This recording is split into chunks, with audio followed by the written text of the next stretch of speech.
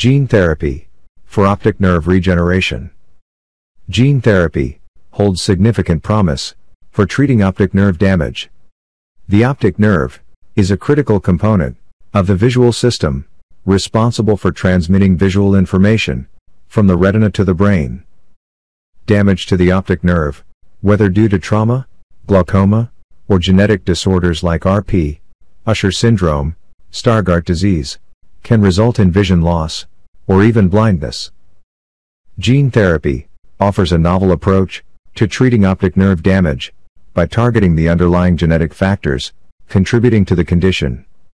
This can involve delivering therapeutic genes directly to the cells of the optic nerve or adjacent tissues, aiming to correct genetic mutations, promote cell survival, or stimulate nerve regeneration. Several strategies are being explored in preclinical studies and clinical trials to address optic nerve damage using gene therapy. Promoting cell survival, gene therapy, can be used to deliver genes that enhance the survival of retinal ganglion cells, the primary cells comprising the optic nerve.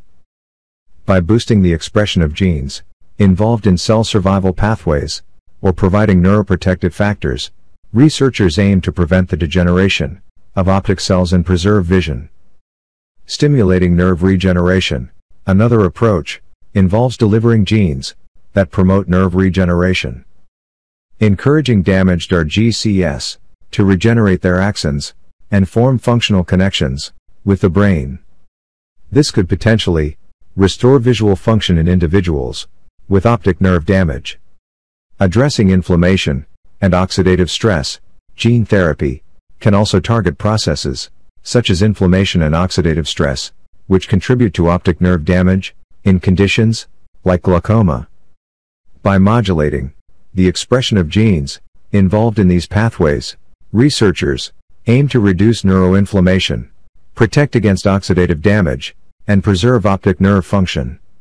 While gene therapy for optic nerve damage is still in the early stages of development, several studies have shown promising results in animal models and early clinical trials. However, challenges, such as delivering genes effectively to target cells in the eye, ensuring long-term therapeutic effects, and minimizing off-target effects, remain to be addressed. At this juncture, optimizing the microenvironment within the eyes is paramount to enhancing the prospects of successful future gene therapy interventions. STEM active, combined with AC stim and light therapy, represent the optimal pretreatment regimen for patients with optic nerve damage, slated for future gene therapy. Preserving patients' quality of life hinges on ensuring that, upon injection of gene therapy materials into the eyes, they encounter an environment conducive to their efficacy. In the presence of inflamed and damaged optic nerve cells, the desired outcomes are compromised, impeding the gene material's ability to function optimally.